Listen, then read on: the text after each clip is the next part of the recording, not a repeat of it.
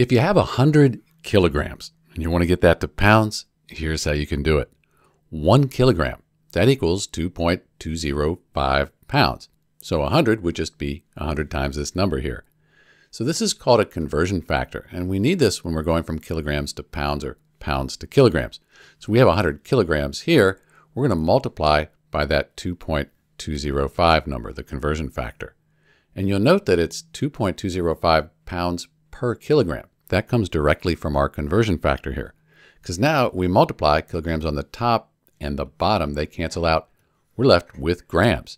So 100 times 2.205 pounds, that equals 220.5.